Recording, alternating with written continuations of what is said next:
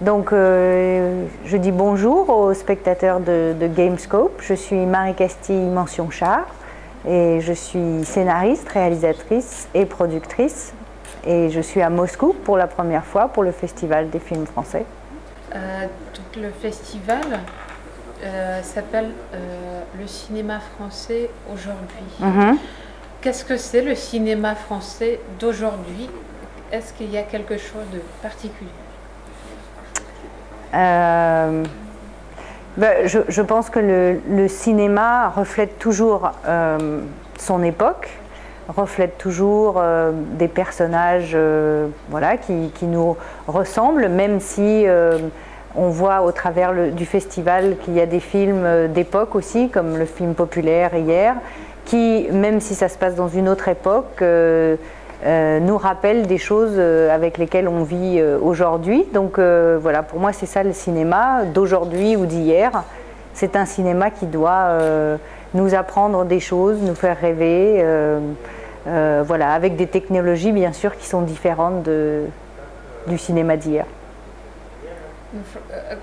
Кино сегодня – это всегда отражение сегодняшнего дня, поэтому во всех фильмах, будь это даже фильмы которые говорят о другом времени, о другой эпохе, они все равно э, дают нам что-то от сегодняшнего дня и что-то отражают, о чем-то заставляют мечтать нас, сегодняшних зрителей.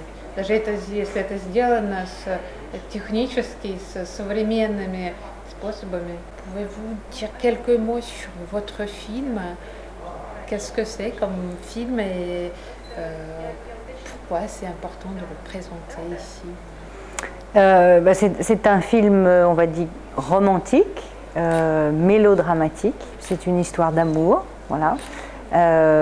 et pour moi, c'est très important de le présenter ici parce que c'est la première fois que je, que je le présente à un public étranger déjà.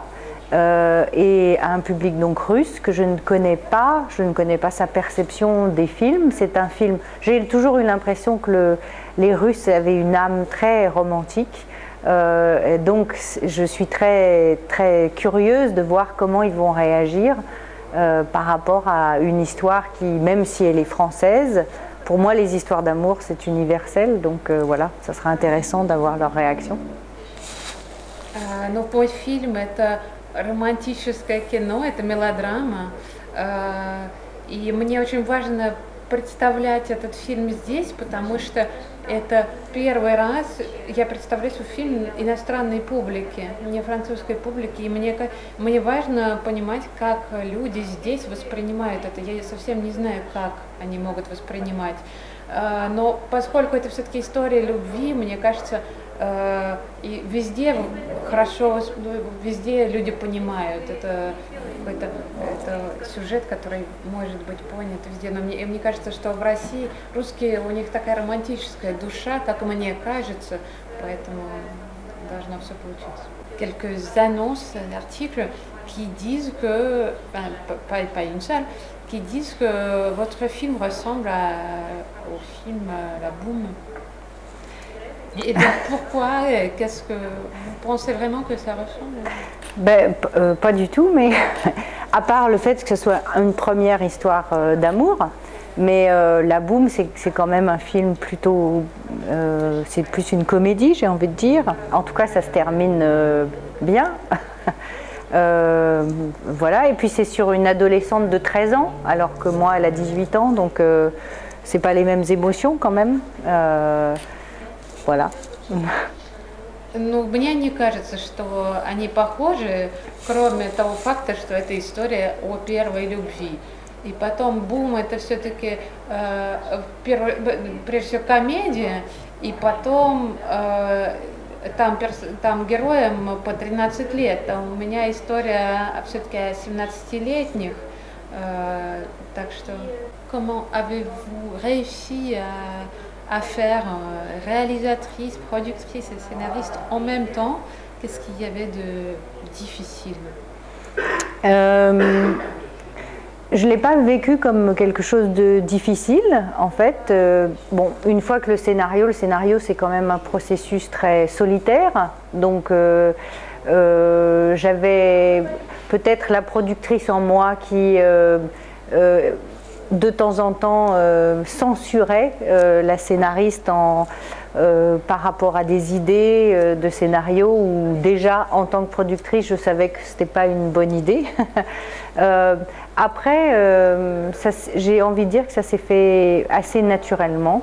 Euh, et que euh, les réalisatrices et productrices, en tout cas, euh, ont été assez complémentaires. Не сказала, что я пережила вот эту работу как какую-то сложную работу, потому что если говорить о работе сценариста, да, это немножко такая индивидуальная работа, и, может быть, в какие-то моменты я в качестве продюсера где-то какую-то цензуру проводила в э, сценарии, а что касается режиссерской работы и работы продюсера, они совершенно э, замечательно сочетались и дополняли друг друга. On a trop aimé les comédiens qui jouent dans le film. Comment vous, avez, vous les avez trouvés Euh, ben, moi aussi, je les ai beaucoup aimés. Euh, en fait, euh, Martin, donc, c'était pas un acteur professionnel, c'était un mannequin au départ, et je l'ai vu sur Internet par hasard, et j'ai aimé ça, ce qui dégageait naturellement, et donc j'ai eu envie qu'il passe les essais. Donc je l'ai contacté, voilà. Au début, il a dit non parce que euh, pas assez confiance en lui, et puis il n'avait pas songé à faire une carrière de comédien. Et donc je, l'ai convaincu au moins de passer des essais, et, euh, et j'ai trouvé qu'il avait quelque chose de, voilà, de formidable, en tout cas assez de potentiel pour, euh, avec du travail, aller vers, vers ce que je voulais faire. Ну, я, вообще я тоже очень полюбила этих актеров. И что касается мальчика, вот Мартена, он совсем не был совсем профессиональным актером. Я его увидела в интернете, в видеоролике, и, э, и я его уговорила пройти кастинг, пройти пробы, потому что он даже отказался сначала, он не, не верил в себя, и я его уговорила, и я увидела в нем потенциал работать и потенциал все-таки возможность создать э, вот эту роль через работу, et on сделал это. Et Esther, j'ai fait un casting classique où j'ai vu à peu près 400 jeunes filles, 400 actrices, euh, professionnelles, non professionnelles. Et voilà, et, Esther, euh, euh, je lui ai fait passer aussi plusieurs séries. Puis après, à la fin, j'ai fait un, des essais avec quatre couples différents de jeunes filles, les quatre finalistes, on va dire, euh, euh, garçons et filles, et pour voir les couples qui fonctionnaient à l'écran, qui tout d'un coup sur la pellicule, euh, voilà, avaient quelque ce côté magique que je cherchais. Et ben, Esther et Martin, c'était voilà mon couple magique. И э, Эстер, я, вы, я, это героиня, которая играет Сару, э, я выбрала ее ну, классическим методом, я устроила кастинг, я где-то 400 девушек просмотрела, профессиональных и непрофессиональных актрис, а потом у меня было по 4 сценариста, и я из них составляла такие пары, и я уже на пленке потом отсматривала, кто из них лучше смотрится и кто лучше взаимодействует. И вот в итоге это были Esther et Martin. Les séquences euh, d'amour, disons, euh, ils sont très beaux, les, ces, épisodes. Est-ce que c'était difficile de les tourner? Est-ce que vous avez aidé aux comédiens? Et Comment ils se sentaient pendant les, voilà, ces séquences? En fait, Martin euh, c'est pas les scènes qui l'impressionnaient le plus à faire, euh, c'était les scènes d'émotion, euh, la mort de Sarah, etc. et Esther était plus nerveuse, ce qui est naturel quand on est une jeune fille, voilà, et qu'on est un peu dénudé, c'est toujours compliqué. donc je crois qu'elle angoissait beaucoup. Et puis une fois qu'on s'est mise à tourner, ça a été en fait très euh, naturel. Euh, je voulais quelque chose de très doux, très pur, très voilà, très dans l'émotion, la retenue. donc c'est filmé comme ça en tout cas, et donc je crois que ça les a voilà aidés à, à, à être le plus décontracté possible. ну, для Мартена это были не самые любимые сцены, потому что ему больше нравились такие эмоциональные сцены, там где смерть Сары, или э, а э, Эстер, это вначале я видела, что ее это раз, немножко она злится, и ее это раздражает, потому что все-таки это такой деликатный момент, и когда нужно там обнажаться или что-то, и, но я хотела, чтобы это было, я добилась того, что того, чтобы это было естественно, э, как-то, чтобы была какая-то нежность и тонкость в этих сценах, э, и получилось. Qu'est-ce qu'il y avait de remarquable dans le tournage, pendant le tournage, pendant que vous, vous faisiez ce film, euh, un épisode de, de vie, quoi, euh, de travail. Euh, en fait, c'était euh, très, comment dire, c'était très impressionnant et en même temps très, très excitant de, de, voir Martin au fur et à mesure du tournage se devenir de, meilleur tous les jours. Et, et aussi de, retrouver des émotions euh, que j'avais vécues euh, euh, et donc de les retrouver à travers mes comédiens, mes scènes, parce que sinon j'aurais eu l'impression que c'était raté en fait, parce que ce film pour moi ça doit être que des émotions qui, qui doivent passer à travers l'écran et aller vers les spectateurs. Donc si moi-même je ne les ressentais pas, il y avait peu de chances que le spectateur les reçoive. et donc je recevais ça, et ça c'est c'est assez euh, agréable. Ну, наверное, удивителен тот факт, что э, ну, меня, меня удивила работа Мартена, который, будучи не профессионалом, так, э, так прогрессировал в работе, и, и, и сам факт того, что ему это удалось, я видела, как это происходит. Это уже интересно. А потом мне было э, поразительно видеть, что меня э, поняли, и мои эмоции, они через этих актеров, они выходят к зрителю на экран и, и становятся понятными. Qu'est-ce qui vous a inspiré comme, pour faire ce film euh, dans le cinéma français ou pas français euh, un film, un réalisateur ou, quelque chose d'autre? Et puis notre question à côté, est-ce que euh, quand même le sujet est, compris par les jeunes en France? Est-ce que c'est proche hmm. Euh, alors, ce qui m'a inspiré plus que des réalisateurs, encore une fois, ce sont des, des émotions. Par exemple, quand j'étais petite fille, je pouvais regarder en boucle Guerre et paix euh, avec Audrey Hepburn. Euh, mais parce que c'était des histoires comme ça euh, que je trouvais absolument passionnantes, qui moi me faisaient, me transportaient vers quelque chose et où je voulais avoir la même robe que, que Audrey Hepburn dans, dans et voilà, quand, quand ils sont. Enfin bon, c'est des univers comme ça romantiques que je voulais.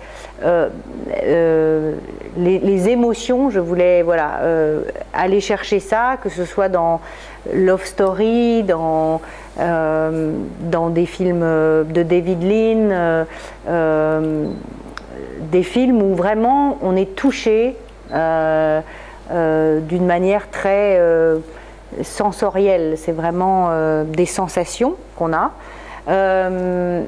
vous voulez traduire ça peut-être ну, то, что я пыталась найти вообще в другом, в других фильмах у других режиссеров, это прежде всего э, эмо, эмоции, чувства, э, и это меня вдохновляло. Например, я, когда я была маленькая, я могла миллион раз э, смотреть с начала и до конца «Войну и мир», вот с Одри Хэбберн, и мне нравилась так эта романтическая история, я хотела такое же платье, как у нее, э, и так далее, и так далее, и в фильмах там в Love Story или в фильмах Дэвида Лина, я искала вот эти чувства, вот эту правдивость, чистоту.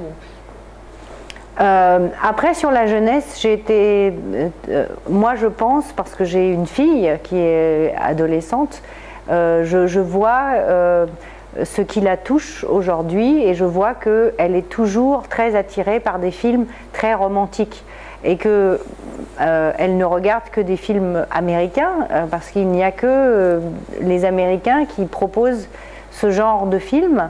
Euh, mais que donc, euh, que ce soit elle, ses amis, euh, les jeunes que je rencontre, ils ont besoin, dans une société qui va très vite avec Internet, où ils sont très exposés, en même temps, ils ont besoin de, encore une fois, de ces émotions très, très pures qu'ils ont naturellement. Euh, et, donc, j'ai constaté en fait que euh, même à la limite, euh, une jeunesse parfois, je me disais, qui, ne, serait pas touchée par le film, l'est beaucoup parce que ils aiment ça. Ils aiment aussi qu'on les fasse rêver avec des histoires, même si c'est loin d'eux. En fait, ça, ça les nourrit de quelque chose de romantique dont ils ont besoin, plus à la limite aujourd'hui qu'à mon époque. И потом я смотрела на сегодняшнюю молодежь, и у меня самой есть дочь, подросток, и я смотрю, что она, она смотрит только американские фильмы, и я понимаю, смотря, глядя на нее и на ее друзей, что им не хватает этих романтических историй, этих э, чувственных историй. И это то, что и я понимаю, что во французском кино их не хватает, и э, это то, что я хотела воплотить, э, и меня вдохновляло вот желание молодежи. Euh, il y a un très bon travail de caméraman aussi, et donc euh, il fait euh, une très jolie euh, image, mais l'histoire est, est, très triste. Euh, pourquoi c'est comme ça et Qu'est-ce que vous voulez faire comme effet, peut-être, par ce contraste euh, ben pour moi, c'est pas un contraste. Ça va, l'image va avec euh, avec l'histoire. Euh, ma chef opératrice, qui est une femme, a fait une, lumière justement où il y a beaucoup aussi de, de contraste dans l'image, mais qui pour moi va avec avec, euh, on va dire, euh, l'aspect mélodramatique euh, и l'aspect très romantique du film. Ну, вообще для меня это не противоречие. Это как раз то, что гармонично сочетается. Это вот такая история. И э, в, самом, в самой в картинке фильма, вот у меня моя, моя женщина-оператор работала над фильмом, и она как раз пыталась создать такие контрастные кадры, э, и что идет вот в духе мелодраматического кино. Вот оно такое должно быть. La fin du, du film est très triste. Euh, et le spectateur veut toujours avoir la fin, la, la, la fin heureux, heureuse, euh, enfin, joyeuse. Et pourquoi quand même vous avez fait euh, la fin comme ça Est-ce que c'est le euh, l'accès au réalisme ou bien c'est votre, votre vision? Euh, bah, déjà, je voulais raconter une histoire d'amour qui, comme celle que j'avais vécue, c'est-à-dire une histoire d'amour qui, malgré la mort, qui fait partie de la vie, euh, malgré la mort, une histoire d'amour, quand elle est très forte, euh, continue de manière euh, éternelle. donc forcément, ça passait par la mort dans le film. Mais quand on voit un film comme Titanic, Euh, Titanic, euh, c'est très triste aussi, pourtant on le ressent pas comme ça, et pourtant on sait quand on va voir le film que ça se termine pas bien, mais en même temps c'est une grande histoire d'amour. Donc euh, pour moi, les grandes histoires d'amour, parfois, voilà, il y a une séparation, mais elle continue quand même. Ну, вообще это моя личная история любви, И она плохо вот так закончилась, поэтому это, это правдивая история. А потом э, любовь это то, что сильные истории любви, они часто заканчиваются чем-то трагическим, смертью ли или расставанием, э, но любовь, она продолжает жить, великие истории любви, они, они живут вечно, когда мы смотрим э, «Титаник», э, мы все равно знаем, что это плохо закончится все, и все равно мы знаем, что это просто большая история большой любви, и именно это делает фильм. Une très bonne musique, le très bon soundtrack pour votre film, ce qu'on a remarqué, mm -hmm. qui ont vu déjà le film, ils il cherche euh, toutes ces chansons, mélodies sur Internet. Et déjà les autres, en écoutant cette, cette musique, euh, veulent voir le film parce qu'il y a cette musique. Ah oui.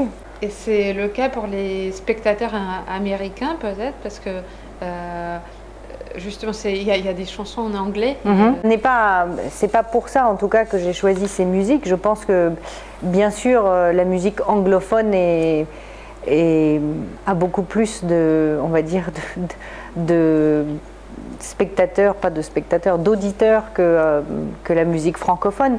Mais au-delà de ça, je pense qu'aujourd'hui, les jeunes euh, écoutent beaucoup plus de chansons euh, anglophones, moi la première, même si je suis pas jeune.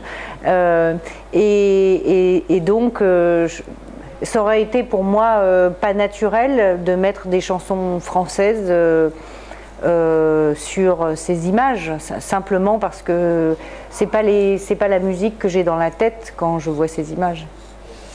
Ну, конечно, я выбрала эти песни английские не потому, что я хотела, просто они э, Конечно, сейчас молодежь, она больше слушает э, английские песни, чем песни на английском, чем э, какие-либо другие, это универсально.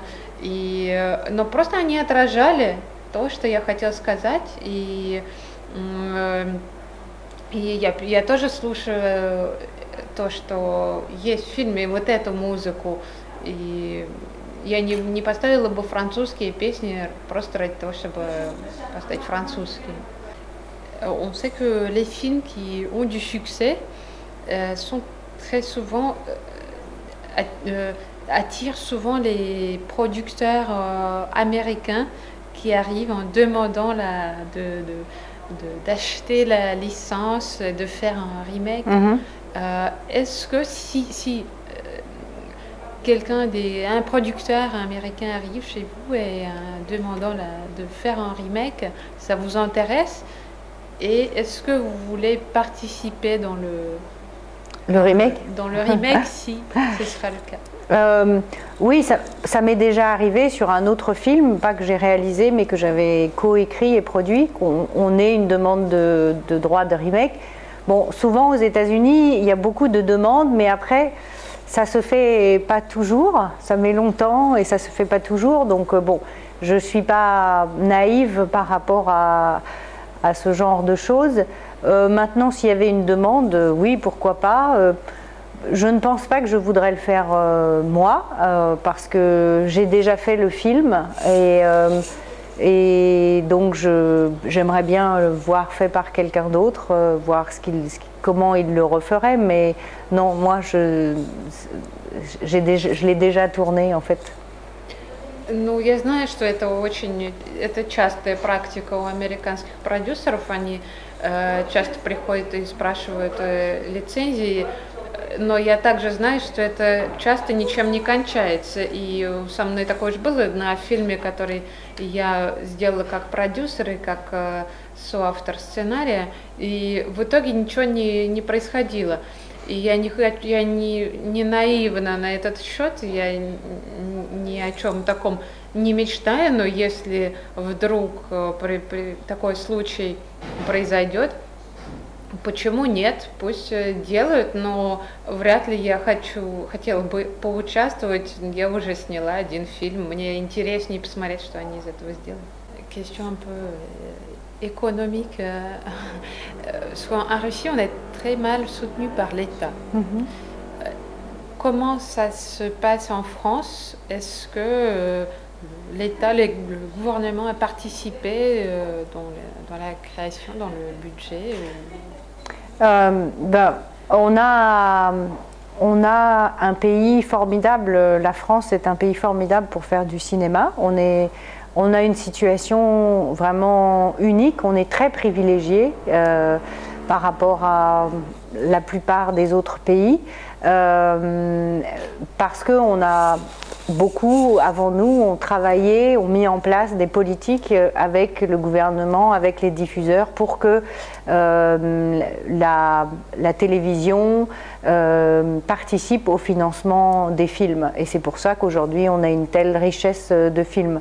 Euh, donc il y a toujours une participation, euh, on va dire, d'un service public, de l'État dans, tous les films, puisque euh, on a un système qui s'appelle le fonds de soutien, euh, euh, qui fait qu'on peut, à chaque entrée qu'on achète pour un film qu'on a produit avant, on, reçoit de l'argent qu'on peut réinvestir dans les films qu'on fait après, et donc qui nous permet de voilà d'avoir des, subventions. Après ça, il y a d'autres subventions pour le, on n'y a pas eu droit avec ce film, mais de toute manière, on a euh, il y a toujours l'État quelque part dans, dans, tous les films qui sont, qui sont faits euh, sous différentes formes. Ну, вообще, мы прекрасно себя чувствуем во Франции, потому что государство э, очень помогает в создании кино, и э, у нас выработана такая система, э, при которой всегда государство так или иначе в виде того или иного института поддерживает производство кино а потом с каждого, можно сказать, зрителя, который идет в кинотеатр, а, авторы получают какой-то какой то небольшую денежку, которая, которую в итоге можно снова инвестировать в новый проект. И в этом смысле, да, государство оно участвует во всех практически картинах. Quelques mots sur vos euh, futurs projets futures idées, euh, peut-être nouveaux genres que vous mhm. voulez essayer. Et puis peut-être vous voulez, euh, vous avez envie de tourner quelque chose en Russie? Euh, ben, j'ai fait un film après ma première fois qui, qui s'appelle Bowling, qui est sorti en France cet été très différent, une comédie, euh, une comédie mais ancrée dans une réalité sociale puisque c'est une histoire vraie qui s'est passée d'une d'une lutte très amicale, fraternelle entre quatre femmes euh, pour sauver une maternité. Euh, donc voilà, et puis là je prépare un film qui se passe dans un lycée et une histoire entre une professeure et sa classe. Euh, voilà, sur un, concours euh, et donc une, euh, une histoire positive d'espoir dans, une classe. quant à la Russie, je, je, la découvre depuis 24 heures, donc pourquoi pas, s'il y avait une histoire, voilà, pourquoi pas venir en Russie Ну, что касается проектов, то я уже сняла И после вот этого моей первой любви я сняла еще один фильм, он называется «Боулинг». Это комедия, э, и она такая, ну, интересная история, там, женщин, четырех женщин, которые защищают свой роддом, хотят спасти один роддом. И, э, и я след, и я уже задумала следующий проект, на сценарии уже написанный, съемки будут летом, вот в предстоящем, и э, что касается, а, это, это история, это школьная история, там история э, учительницы и класса. И э, что касается России, то я всего sутки здесь, и я только открываю для себя этот мир, но приехать снимать, ну почему нет? Alors bien, si c'est que depuis 24 heures, qu'est-ce que vous avez déjà découvert et peut-être vous avez envie de, voir quelque chose de particulier? Euh, j'ai envie de voir les gens vivre, en fait, euh, voilà, de découvrir parce que je ne connais pas du tout. Donc, euh, de, j'aime observer les gens, euh, bon, même s'il fait très froid. Donc, euh, c'est difficile. À Paris, souvent, on- ou en France, on se met à la terrasse d'un café et on regarde les gens passer, on les observe. Bon, à Moscou, c'est plus difficile de faire ça. Ну, говорит, да, конечно, э, мне вообще интереснее всего смотреть на людей, я наблюдатель. И э, мне интересны живые люди. Э, Конечно, вот э, во Франции, например, можно сесть за столик в кафе на улице и сидеть, смотреть на людей. А здесь как-то посложнее, все-таки холодно. Поэтому, но все равно мне вот интересно знакомиться с людьми. Vous pouvez euh, euh, souhaiter le bonne année aux, aux- aux lecteurs. Voilà, faites-le. En, en- en- en français Oui. Alors, je, je souhaite de, de très bonnes fêtes et une très bonne nouvelle année 2013 à tous les spectateurs donc, euh, de cette émission. Я желаю счастливого Нового года всем э, э, читателям, зрителям. Э, Пусть у них все получится. Et vive le cinéma. Да, здравствует кино.